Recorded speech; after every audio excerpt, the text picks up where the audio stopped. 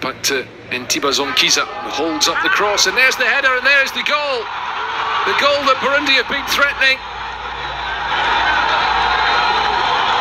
It's Abedi Bigirimana, who's not the tallest figure on the field by any means, but who rose to head in that cross on the right-hand side. First half an hour, and uh, all credit to Bigirimana, who got in front of uh, his marker, Noah Sonko Sundberg, and just planched that header beyond Modou Jobe, he was left with no chance whatsoever. Gola. Liongola looking to, well, that's placing the ball very much outside it. Centimetres there. Jordi Liongola. The back post and it's been turned in again. It's 2 0. Sabiyumva on hand, unmarked. Burundi are in dreamland here.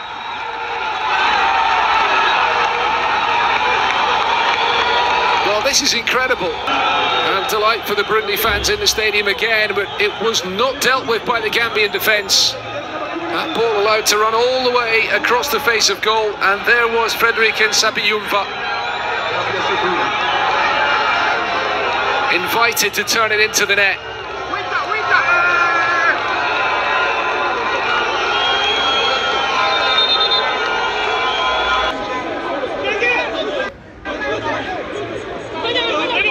Corner short. Jallow. A decent ball held up to the edge of the six-yard box and laid back for the shot, which finds its way into the net. The Gambia get a goal back. The Burundi defenders appeal for an offside.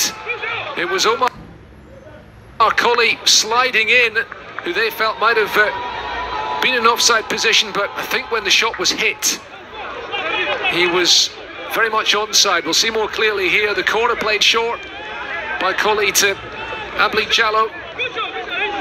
There is the shot, and you can clearly see that Omar Colley is onside when that ball is played. And he is on hand to turn it in from close range. Again, once more waved away by the referee from Benin. The long ball sent forwards, an awkward one which might be picked up here by Sudi Abdallah. A chance to make it 3-1, which he does. Well, a touch of controversy maybe. The Gambians felt they had a penalty shout at the other end, and Burundi break away as they'd be threatening to do in this second half.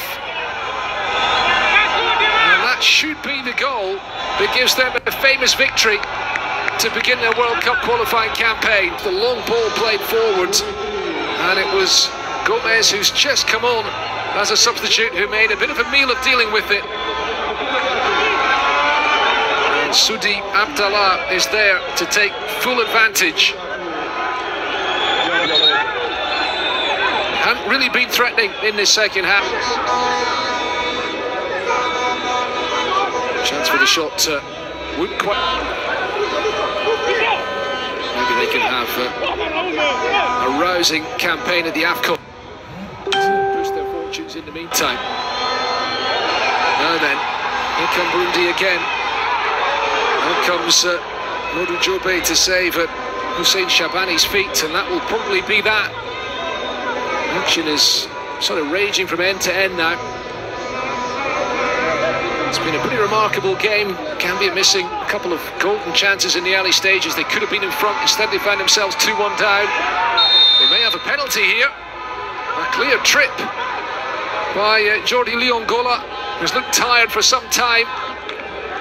Catching Sanyang, and the Gambia will have a chance to pull it back to 3 2 in the final seconds of this game. Definition of a tired tackle by a forward in his own penalty box. Habit of scoring late goals recently. Had a frustrating afternoon out on the right flank. And he finishes it off with a goal, sending Nahimana the wrong way. And the Gambia pull it back to 3-2, but that is the final action of the afternoon.